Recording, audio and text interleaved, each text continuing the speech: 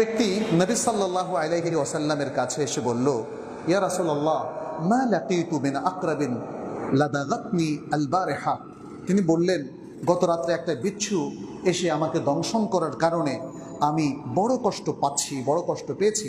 তিনি বললেন, কালা, আমা লাউ কুলতা, হেইনা আমসাইতা, যদি সন্ধ্যা হলে তুমি যদি একটা দোয়া পড়তা সেটা কি? আউযু বিকালিমাতিল্লাহি তাম্মাতি মিন শাররি মা খালাক। আউযু বিকালিমাতিল্লাহি তাম্মাতি মিন শাররি মা খালাক।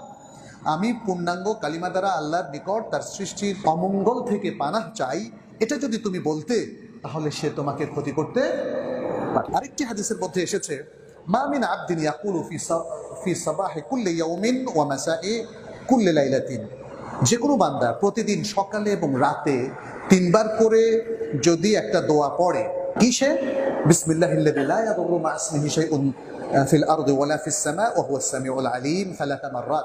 তিনবার করে যদি সে দোয়াটা পড়ে, ফায়াদুররাহু শাই তাহলে তাকে কোনো জিনিস ক্ষতি করতে পারবে না।